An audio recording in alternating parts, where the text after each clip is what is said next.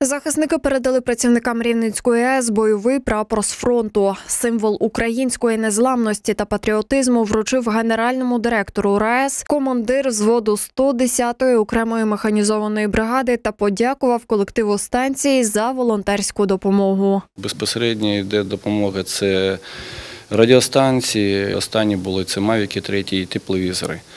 Бо Мавіки 3 це у нас розходні матеріали, вони швидко виходять з ладу. Так що це хоч і коштовна річ, але вони в великій кількості потрібні нам там.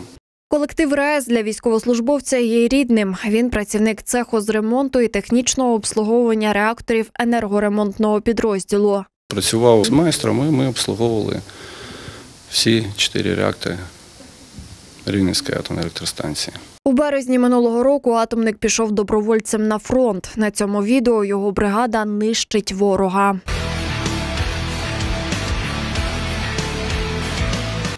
Зараз близько 200 працівників РаЕС виборюють незалежність нашої держави на передовій та служать в лавах територіальної оборони. Колектив Рівненської атомної електростанції він е, завжди допомагав е, Збройним силам України, незалежно від якої бригади, незалежно від військових організацій поступають е, звернення. Але в першу чергу ми намагаємось допомогти тим військовим частинам, де перебувають наші працівники. Лише у січні цього року атомники зібрали понад 3 мільйони гривень з відрахувань у сумі 3% від зарплати на потреби ЗСУ. Енергетики дякують усім захисникам за щоденний бій в ім'я перемоги. В першу чергу за те, що е, вони героїчно захищають нашу землю, дають можливість нам е, мирно практично жити і виробляти електроенергію таку важливу для України.